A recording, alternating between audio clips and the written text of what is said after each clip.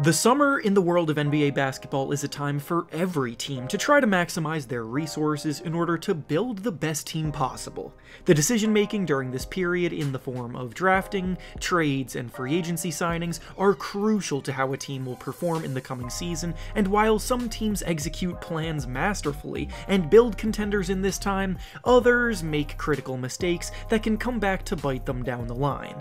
This brings us to the topic of today's video, where we'll be discussing four four teams in particular that I believe will look back at the decisions that they made this offseason with regret when all is said and done. This could be for a variety of reasons, whether it be bad trading or signing, overall inactiveness when they should have been more aggressive, or a combination of both. Before we start though, make sure to like the video and subscribe to the channel, as all support is very much appreciated. Now with that being said, let's begin. The first team we'll be discussing today that will end up regretting their decision this offseason is the Los Angeles Lakers.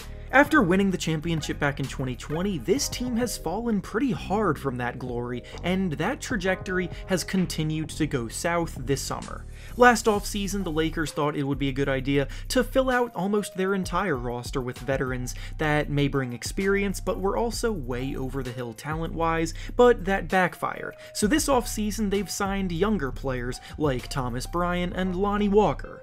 The Lakers also traded Talen Horton Tucker and Stanley Johnson for Patrick Beverley, which is a good move that should make an impact, but Beverley is now arguably the team's fourth best player, and after a season where the Lakers both missed the playoffs and the play-in tournament altogether, I just don't think they did nearly enough to elevate themselves back to the status where they want to be, which is in contention for a championship.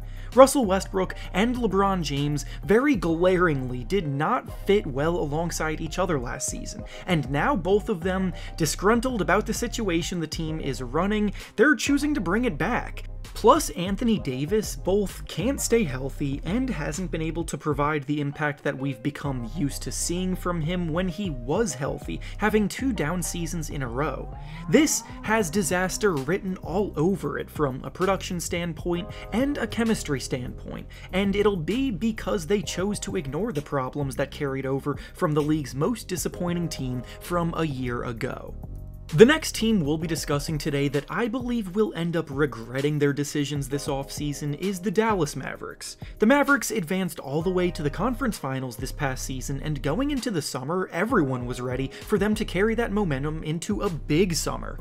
Luka Doncic has done everything in his power to prove that he is ready for the big stage, and time after time produces at an absolutely elite level in the playoffs. The primary narrative surrounding the Mavericks after all of this is that they need to find Luka a secondary star to team with him, because time after time we've seen him have to carry a large brunt of the workload regarding shot creation and playmaking. Jalen Brunson was emerging as someone who was reliably handling secondary playmaker duties, and he especially broke out in the playoffs this year. But then, when the offseason hit, the Mavericks basically allowed him to walk away for nothing as he signed with the Knicks.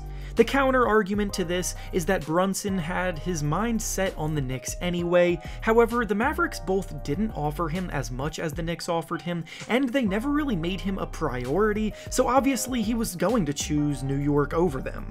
On top of this, the Mavericks were able to take the leap they did last season because of their stout defense that they built, and the one big move that they did make this summer was trading for Christian Wood.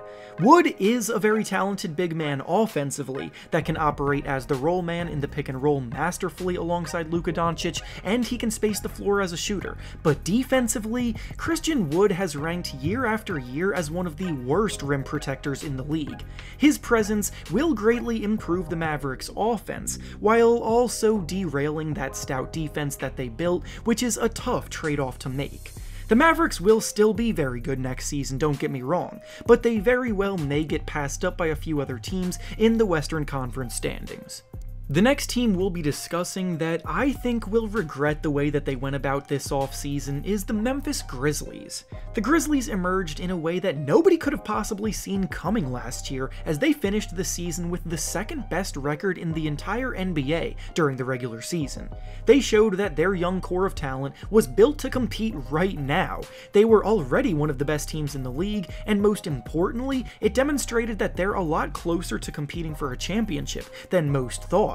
When a young team has a season like this, the smart thing to do is to capitalize on it and try to come back even stronger the next year while you have that momentum. Instead, this offseason the Grizzlies were one of the least active teams in the entire league, making almost no changes at all from last year's team. They didn't sign a single free agent, they drafted Jake LaRavia, David Roddy, and Kennedy Chandler, and they traded for Danny Green, who could possibly miss the entire season season due to injury, and if he does return, it will be very late in the year. Meanwhile, on the flip side, they traded away DeAnthony Melton, and they also saw Kyle Anderson leave in free agency. As I mentioned before, a lot of other teams in the Western Conference around them made big moves to improve themselves, and the Grizzlies essentially stood pat, so now they risk falling down the pecking order after working so hard to emerge as one of the top teams. And finally, the last team that I believe will end up regretting their offseason decisions this summer is the Charlotte Hornets. The Hornets barely snuck into the play-in tournament last season, but they're a competitive team that most viewed as a group close to breaking through to becoming a serious playoff team. LaMelo Ball was just named an All-Star in his second season, and the team plays an exciting brand of basketball with his creation at the center of it, but after losing in the play-in tournament this summer has been pretty bad for them. I'll start by addressing the biggest piece of news, as Miles Bridges is in some serious legal trouble based on his actions actions off the court, and I'm not here to discuss things outside of basketball, but the fact of the matter is that he has done some things that may end up ruining the rest of his career, and he probably won't be back with the team anytime soon. That's a massive blow to a team that was barely treading water in the first place, and everything that has happened since then has been the definition of underwhelming. You'll probably pick up on a common theme throughout this video, but the Hornets are also another group that barely did anything this this summer, when they were one of the squads in desperate need of some additions to bolster themselves. They lost both Bridges and Montrezl Harrell, and then regarding the players that they brought in, the only new face that they'll have is rookie Mark Williams, who they drafted in the first round. They're about to be so much worse this season, and it will be because of the fact that they sat back and watched other teams make the moves that they should have been trying to make for themselves. And with that being said, that's all I have for you today. Make sure to like the video, subscribe to the channel, and comment down below what you think some of the biggest mistakes of the off-season have been. Thanks for watching, and I'll see you all next time.